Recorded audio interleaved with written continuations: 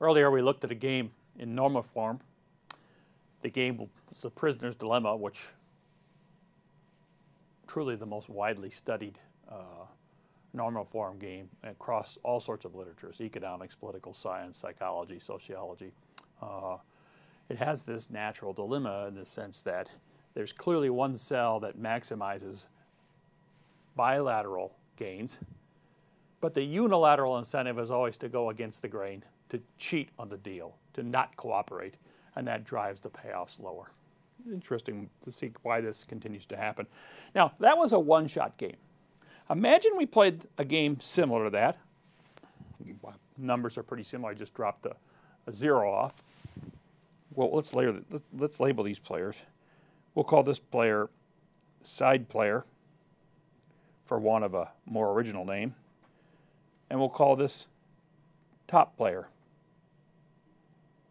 And in the one shot game, playing once, that's it, two ships passing in the night, the side player always sees it's better to defect because the payoffs are higher when it defects, regardless of what its rival's doing. And the same incentives for the top player. Top player says, I don't know what the side player's doing, but if I defect and they're defecting, I do better. If I defect and they're cooperating, I do better. And since these are one play games, they're both going to end up defecting.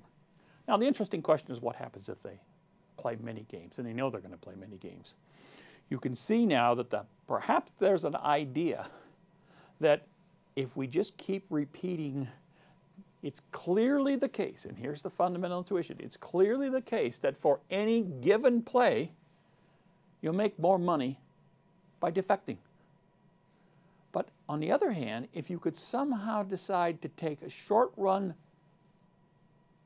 loss. In other words, you're not going to maximize your short run, but think about playing a long run strategy. It's possible, perhaps, I guess the question is, is it possible for you two players to just sit there and keep repeating cooperate, cooperate, cooperate, cooperate, taking six bucks out of the banking system every single time, okay, or whatever, wherever you're getting this money, instead of going over there and just getting two bucks to split, okay, a dollar each.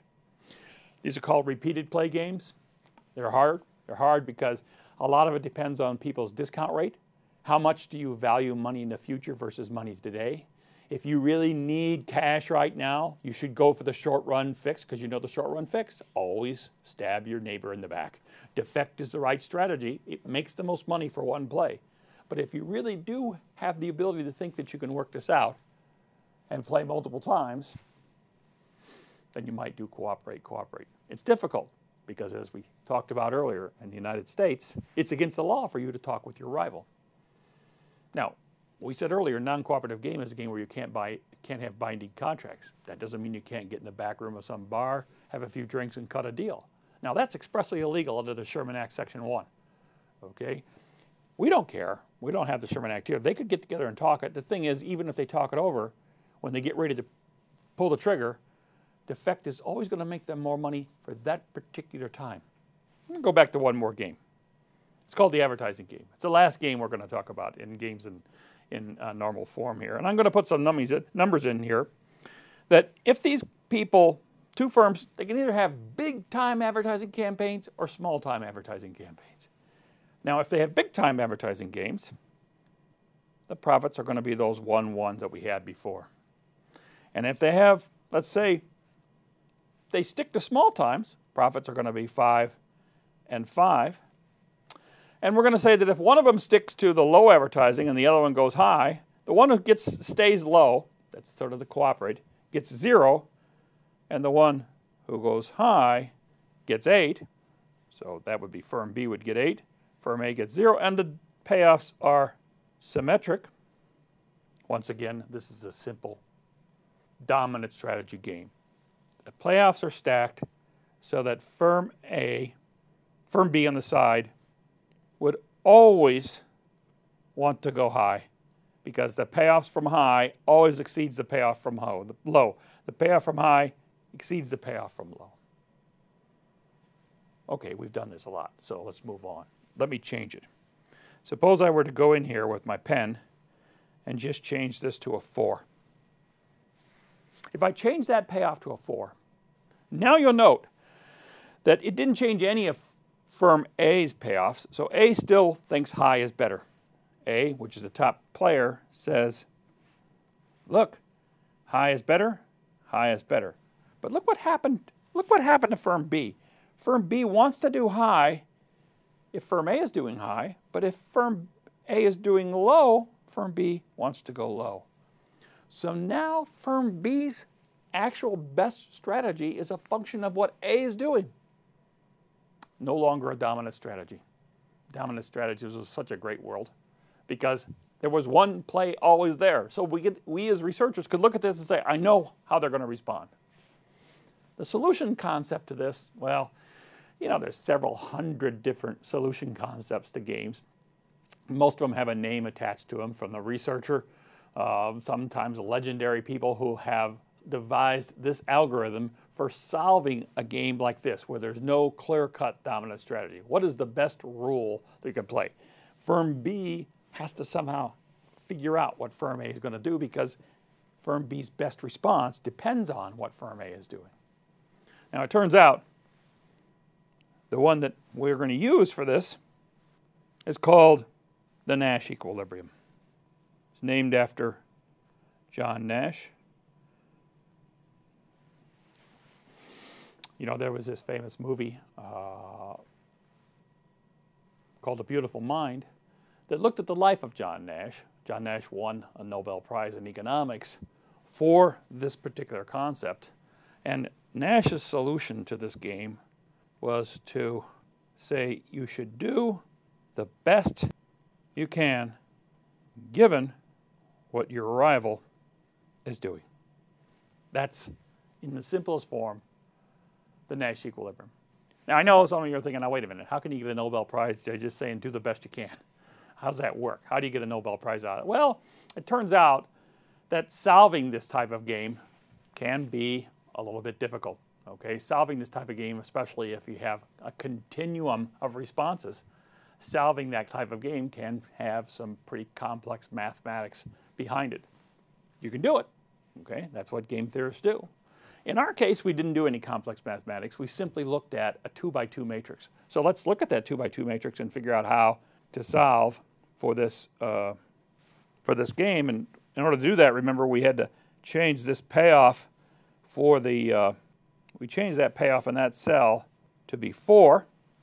And the way you do the Nash equilibrium is you just drop yourself into a cell and you turn to the player on the side and ask, Do you want to stay here? Remember, in economics, we say that equilibrium is no tendency for change. So if it's a Nash equilibrium, what you do is you turn and you say to firm A, Do you really want to stay here given what firm B is doing? So let's just do it. Let's just drop ourselves into this cell. And you look up at firm A and you say, hey, firm A, firm B is being high. You're doing low. Do you want to stay low if firm B is doing high? And firm A says, no. If firm B is doing high, that is, if firm B has chosen high, so we're on this, we're on the top row, A says, I'm not staying here. I'm going over there. And in fact, that's the same down here. If you looked at that cell and you you don't even have to turn and ask B because you, B's doing low and you say to firm A, hey, B's doing low. He's getting five, but you're getting five. Do you want to stay here? Okay, and A is going to say, well, let's see, I can stay here and get five, or I can go over there and get eight. No, I'm going to move. So neither of these can be a Nash equilibrium. Okay, well, let's look at this one. If we drop into this equilibrium, this cell, can it be a Nash equilibrium? B is doing low, A is doing high, you say to A, hey, if B's doing low, you're doing high, do you want to stay? And A says, you bet I do. 8 is better than 5, I'll stay right here. Turn to firm B and say, hey, B, A is doing high, you're doing low, do you want to stay here? And firm B says, no, I want to go up there. If in fact firm A is doing high, that is putting us in this column, I don't want to stay here, I want to go here.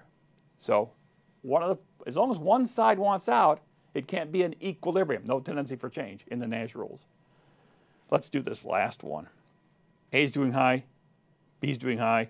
You say to A, hey, A, B's doing high, you're doing high. Do you want to do high or low? A says, well, one's better than zero. I'll stay at high. You turn around and ask firm B on the side. You say, hey, B, you're doing high, A's doing high. Do you want to stay at high or do you want to go to low? And B says, I'll stay at high. Well, neither one of these two want to leave. Okay? That's a Nash equilibrium. No tendency for change. Now, it turns out that's a pretty simple one because it's a two by two matrix. We don't have to do complex math. But sometimes, even with two by two matrices, you can get examples where there are multiple Nash equilibria. Maybe two of these cells can exist. And unfortunately, there are, not very frequently, but there are times where none of the cells are in Nash equilibrium, that they're always rotating. Somebody wants to jump out no matter what cell you're in. But it turns out, even with these little idiosyncrasies about the Nash equilibrium. The reason the Nash equilibrium is so popular is that it is so robust in actually predicting what players would do, whether it's individual players behind uh, two-way, one-way windows, one-way mirrored windows in a police station, or whether it's firms thinking about cheating in a cartel, or whether it's firms thinking about how they should advertise. The Nash equilibrium is a great predictor of how people behave.